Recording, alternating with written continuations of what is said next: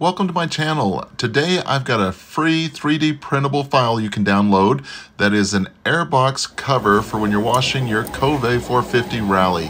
Uh, problem there is that the Rally has the uh, downdraft carburetor and it's easy to get water in that if you're pressure washing the bike. So you can print this here cover if you have a printer, a 3D printer with a large print bed 256 by 256 millimeter, then you can angle it on there in this upright position and print it. Here I printed mine with PETG filament uh, using tree supports that were coming off of the print bed. And as you can see, it fits right on the bike. You'll be able to reuse the screws that attach your air filter and just put this into place and tighten the screws down. If you don't have a 3D printer, that's okay. There are services you can look up online and simply have them print the file for you.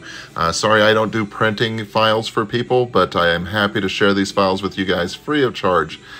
I hope everyone enjoys these videos and these files that I make available for 3D printing. Uh, if you would, please give this a thumbs up to like it and also subscribe to my channel. Uh, you can find this on printables.com and if you use the Bambu printer on MakerWorld. See the description below for clickable links.